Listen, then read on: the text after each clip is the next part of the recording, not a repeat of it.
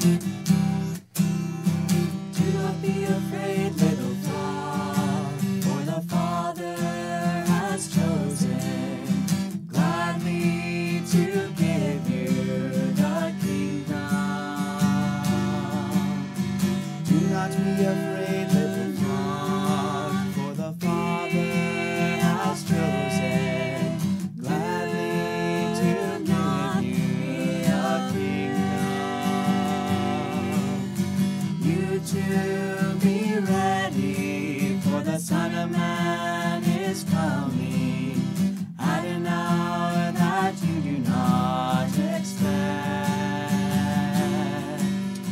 You to be ready, for the Son of Man is coming at an hour that you do not expect. You to be